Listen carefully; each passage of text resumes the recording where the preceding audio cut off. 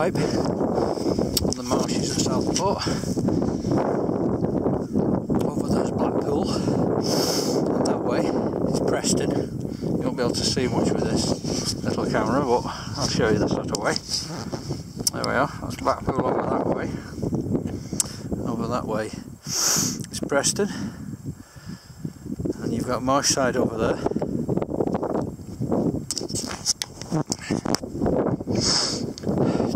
During the 1800s, a lot of people came over from Ireland, time of the the Great Famine, uh, my family included, about the 1840s, 50s, something like that.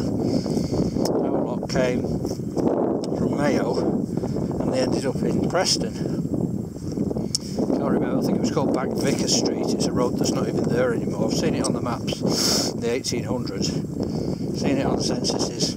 Anyway, times were hard. Um, after the move to Preston, they went over they came back to South. They came to Southport. Uh, Southport. They went to Birkdale a little bit later on. But before they went to Birkdale, they went to a little little hamlet which a lot of the uh, people from Ireland created, which was called Little Ireland. It was a lot of old cottages by the sea at Marshside, which is just behind me over there.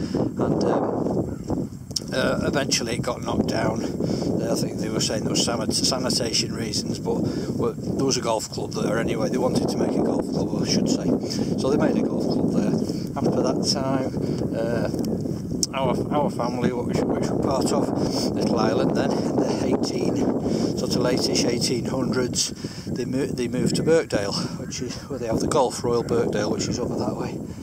And then after that, uh, well, my branch after being in Birkdale, moved to Ainsdale.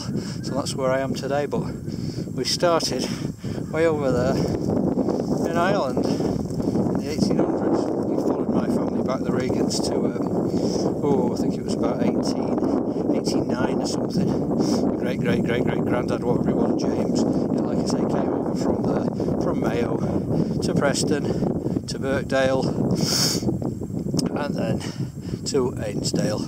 So that's your history lesson. So anyway, I'm just going to have a walk now, take some pictures of the geese and just enjoy some fresh air.